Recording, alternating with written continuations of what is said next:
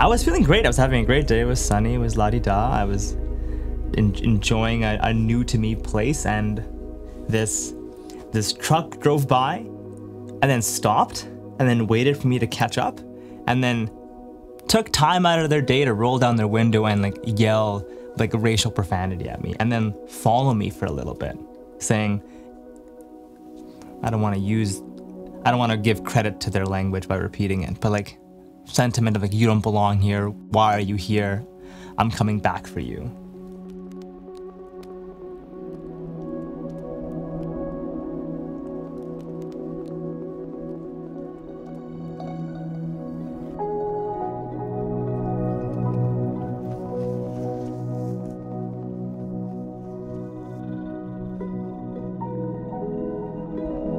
Hi, friends. My name is JoJo. I've been living in the Sea to Sky corridor now for almost a decade. It feels silly to say that.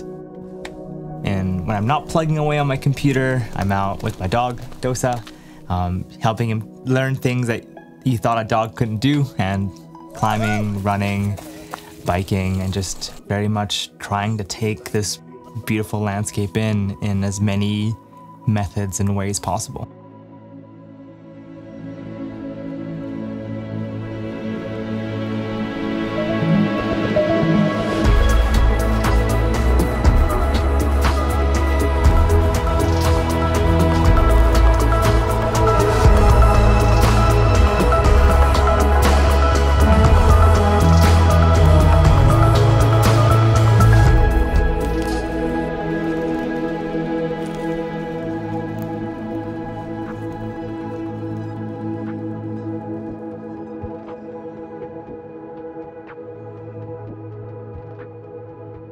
So you grew up moving around a lot. Yeah.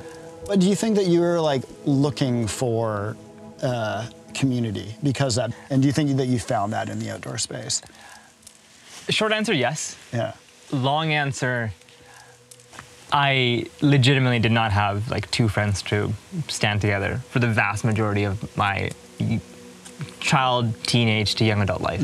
Because we'd move, like Squamish is like the 14th place I've lived in across Yeah. five countries now. And we mm-hmm. moved all the time. I was never close with my family. Like I moved out when I was 12. Mm-hmm. So that support system that a lot of people might have through their parent or through their siblings is not something that I experienced. Mm-hmm.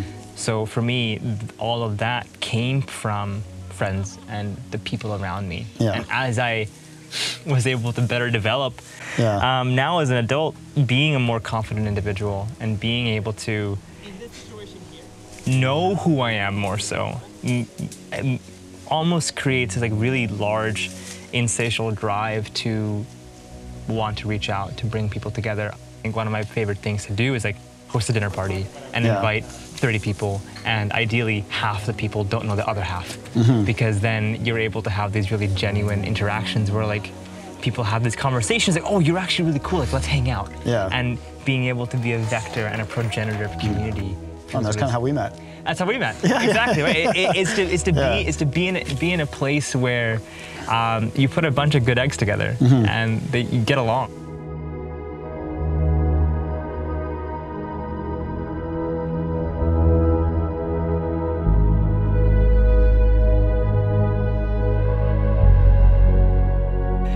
Because I think what I felt was when I showed up is there were just a lot of eyeballs on me. Because I think people still are not used to seeing someone that does not look like them in these spaces.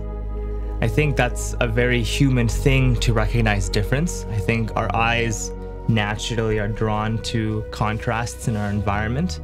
And when someone enters that you don't immediately recognize or identify with, your attention draws to that. So I was I didn't want that attention. I didn't want to have these conversations. I just wanted to climb. I just wanted to run. And I found the easiest way to do that originally was just like I can relate with you on this.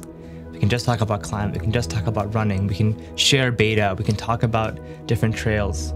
And maybe this is an egotistical side of me, but it's like for me to belong in this space and to be accepted, I needed to perform. I needed to do this really well because then I would be welcomed. I would have space. I had to earn my space. It wasn't just there for me. I had to get to get at it.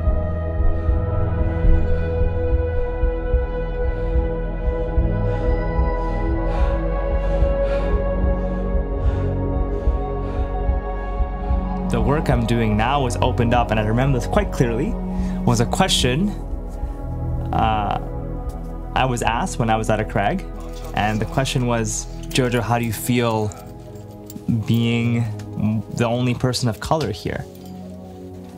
And I didn't have an answer because, if I'm honest, I wasn't thinking about that up until then. I really wasn't. I was just excited to go climb.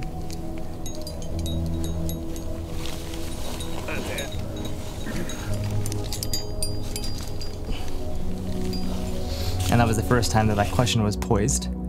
And what was interesting for me was I couldn't get that question out of my head because as soon as someone asked and brought attention to that, I look around and I was like, huh, you're right.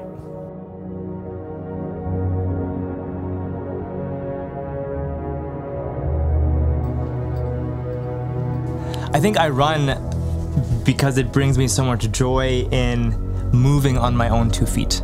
I think the idea of self propelled adventure, self propelled movement is really exciting.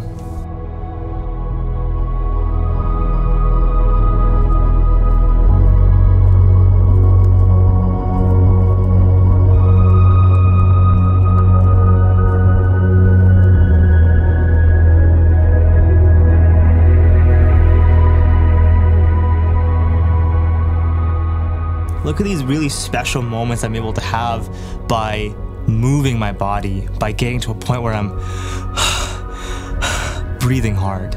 I can feel my heart pounding, and it feels so raw. It feels very in tune with what my brain is thinking like, hey, you're aware, your eyes are dilated, your brain's firing, you're watching where your feet are falling, and you're so hyper focused but also distant from everything else that's happening in your life. I think for me, a strong reflection piece comes with the pound, pound, pound, step, step, step. That methodical movement for my for me, for my brain inspires here's consistency, here's stability. My mind can wander a little bit. Oh shit, that was a rock. Okay, that's back to it.